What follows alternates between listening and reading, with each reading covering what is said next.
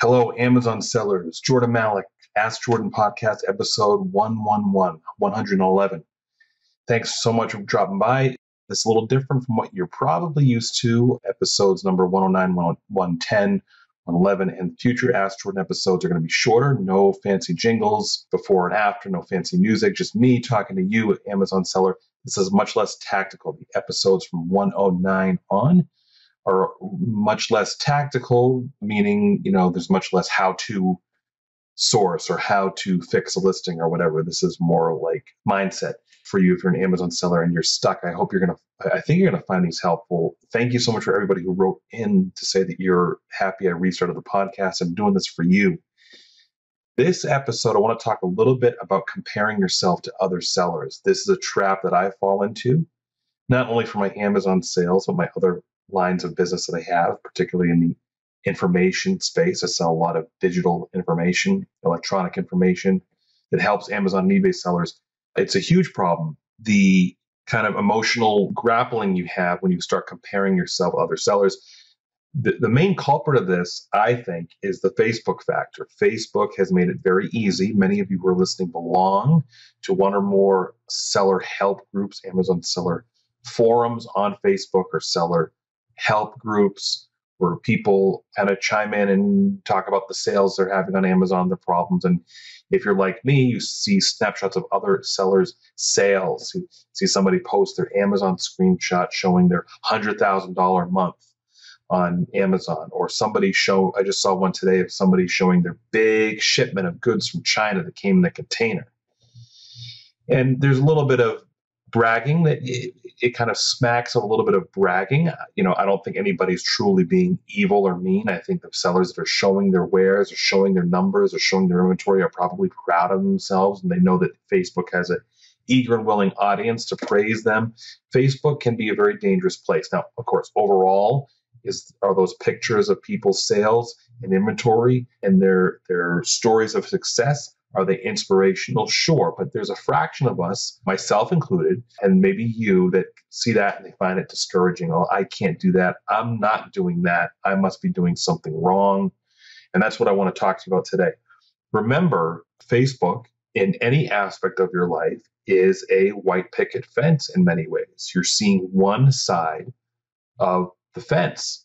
You don't see all the warts and everything goes on the other side from the inside. And the same thing from maybe your peers, uh, your your uh, friends who have the family and the smiling wife and the dog and how everything looks so dandy on Facebook. Well, they're cherry picking what they want to show there. Nothing wrong with that. I'm not saying again that people are evil, but nobody wants to put on Facebook the argument they just had with their wife or the teenager that just stormed out and was doing drugs.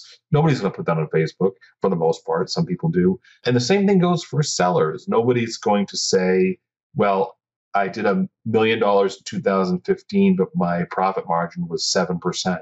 You know, not that that's even, I don't know, maybe that's not even a bad thing. If you do a million dollars and your profit margin is 7%, maybe that's a good thing. I don't know. Or nobody's going to say, yeah, this is my low container full of inventory from China, but I got burned three times to get this, and two suppliers ran off with my money. And the same person who posts that picture of the million dollar sales of the big container from China, you probably won't hear from them if, and I hope this doesn't happen to them, but that's just an example. If three months from now their product doesn't sell or they're shut off from Amazon or whatever.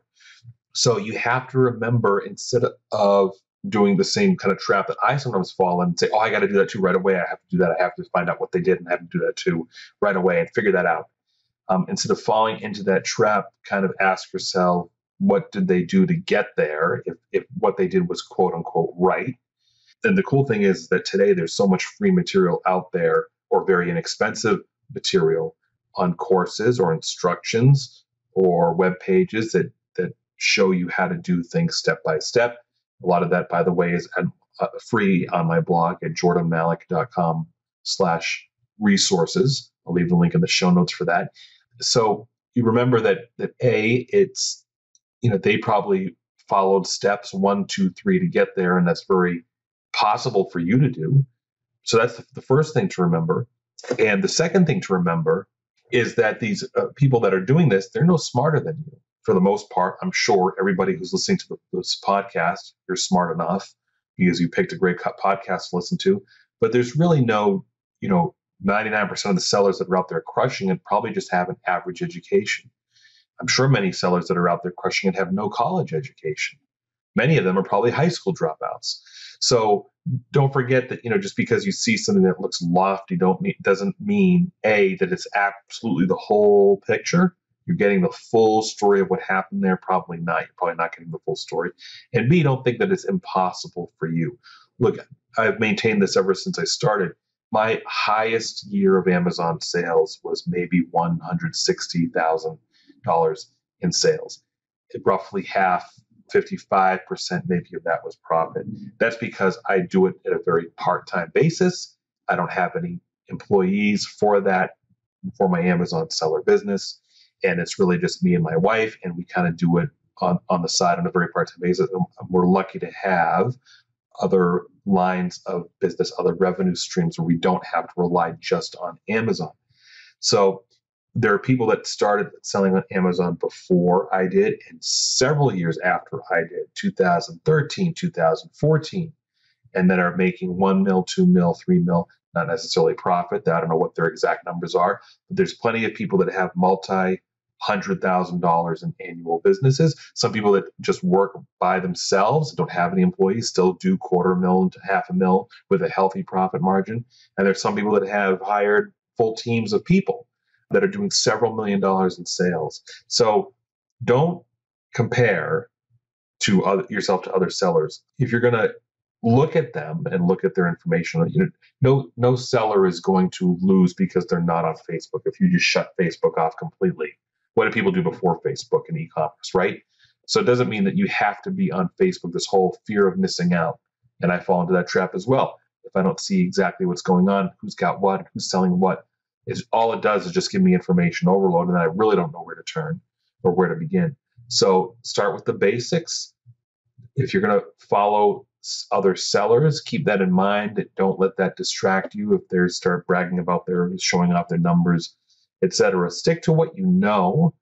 And then if you want to expand beyond what you know, make sure you're taking a you know you're taking a course or asking somebody for help or somebody who's already done it who's willing to share the information.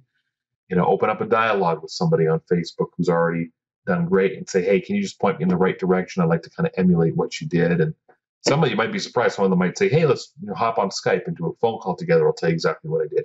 You never know.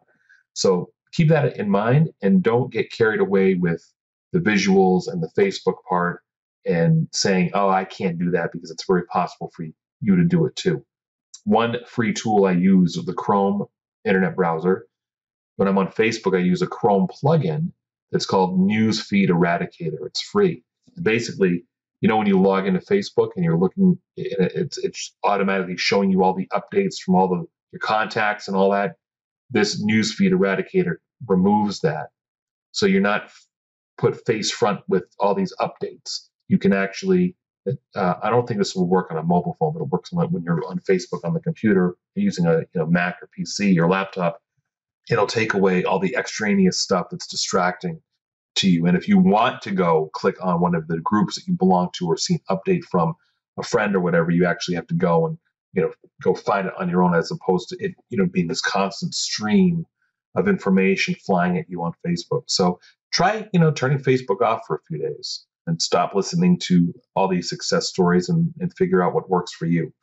I promised you in the past that I don't like these podcasts episode that try to be very nebulous and mamby-pamby and the five ways to be more productive, etc. The stuff that's kind of, you know, just all hot air. I, really want you to focus on what I'm telling you here. This is kind of like that, but you know, if you just get into the right mindset, you're going to be good. You're going to be great. Okay, that's it for now. We will see you again in episode 112, 112 coming up any day now. And if you want to reach me, just go head over to askjordan.net, click on the envelope icon on the right hand side. You can shoot me an email. Thanks for listening. Talk to you soon.